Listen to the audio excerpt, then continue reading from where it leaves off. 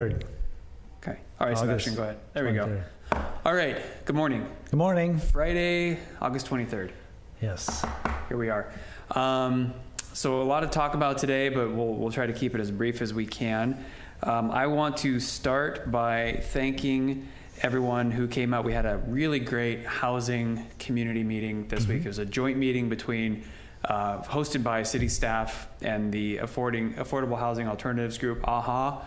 Um, it was like you can't really hope for a more pure form of local government where it's a, a local resident group working with the city to try to find solutions and uh, work towards amending our housing element to get the city owned sites off of there. We had a great turnout. We had 40 ish people in the Wow. room, 20 ish people on the Zoom.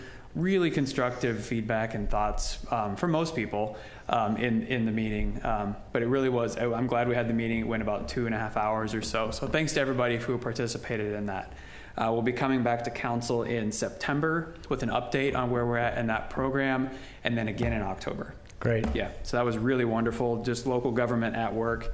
Um, speaking of local government at work, uh, we have our traffic safety committee Yep. next week, which is comprised of you and me and our public works director. And this is a meeting that we have every quarter. It's um, us talking about items that we otherwise have authority to do within our own departments, but we, we like to have this public meeting. We operate it just like a public meeting. We talk, we discuss things, we vote, and it's a way for the community to get invade, involved in traffic safety issues. And we, we take things throughout the quarter, emails, concerns from folks. Hey, you know, this, uh, can we put a no parking sign here? Can we, can we restripe this? Uh, and most of that stuff we can take care of at our level. Yep. But we do it in a public forum. Things like stop signs, we can't do. We don't have authority for that. Uh, we make recommendations, though, to the city council.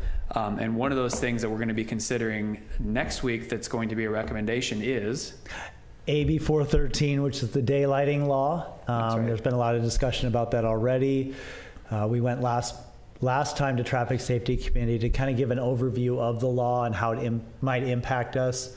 Since then, we've come up with a plan that we want to present to the community through the traffic safety committee and it's just a plan and then we will present that in october to mm-hmm. the city council as a rollout so we are in compliance with the law because we have to start enforcing this by january 1st so we want to make sure that we are set up ready to do it and we're really focusing on how to implement this stay within the, the rules of the law with the least amount of impact to the community and our parking which is obviously sacred here Yeah, basically, the simplest way to put it is we're trying to find the solution that makes us remove the least amount of parking spaces possible. We're going to have to lose some parking spaces. It's Yep. just a fact. It's Correct. the law. But we're doing it in such a way that it's not going to be, you know, some folks have thrown out uh, large numbers, you know, four or 500 parking spaces. It's not going to be that many.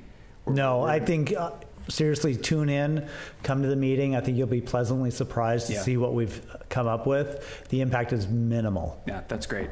So that is next week, Wednesday, 1:30 here in the chambers. You can also participate via Zoom.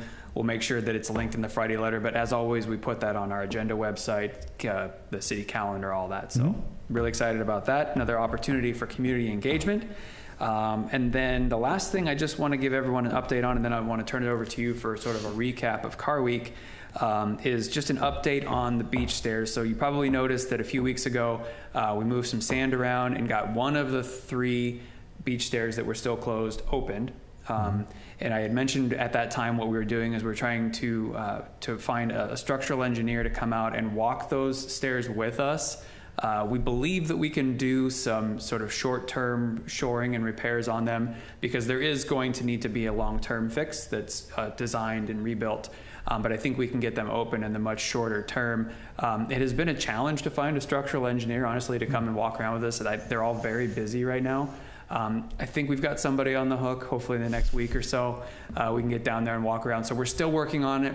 Bear with us. Um, there's two wood stairs that are still closed. We are working on trying to get those open in the much shorter term than going through, which is going to still happen, the, the effort of re-engineering and drawing and rebuilding. So that is going to happen also, but we are working, and I'm working on it personally with our public works team uh, to get someone out here and walk that with us so we can get them open in the short term, hopefully. Uh, so stay tuned on that. Um, so with that, I want to just a quick thank you to everybody, and then you'll have thanks as well. But thank you for you know a, a largely successful car week. Uh, you're going to talk a little bit about lessons learned, Yeah. and um, you know the paper had some numbers today, but uh, you know everyone they still deserve big thanks. We have all of our volunteers, all your team, all the Yeah. public works team. It's just it's a massive effort in such a small concentrated area. So I want to thank everybody for getting us through Car Week relatively safely. Um, Chief, why don't you debrief us a little bit? How, how do you think it went? Yeah, I, you know, I talked last time. This is my 15th, despite taking the last two years off. This is my 15th car week, and we've seen a total change in car week over the decade and a half, where the events are always, you know, well organized. Um, huge shout out to the library staff, our community activities, our volunteers, public works for the hours of setup and preparation and planning.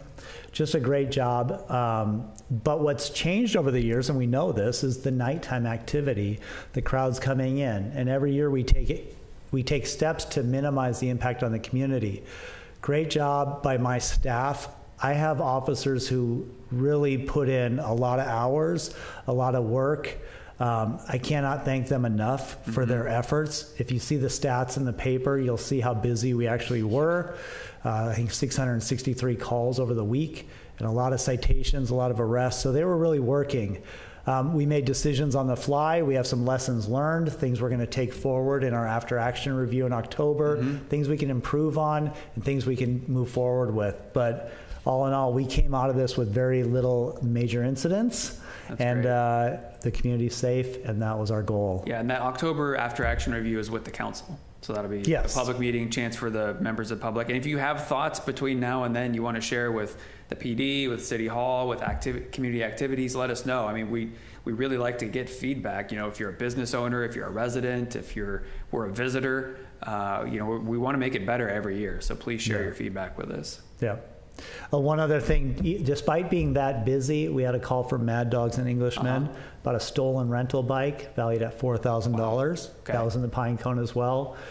It was a lot of fun um, investigating this, working with Mad Dogs and Englishmen because they did a lot of the legwork, finding the bike for sale on Facebook, giving us some information so we could take it further, contact the suspect in San Jose, recover the bicycle.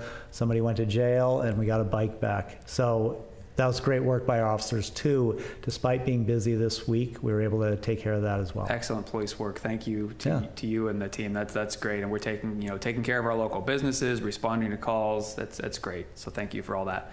Um, well, I think that's all we have for today. Um, we do have to say hello to Chip's mom. Hi, Chip's So, Hi, mom. Chip's mom. And um, I think we'll just tell everyone goodbye as we normally do by saying, Take good care.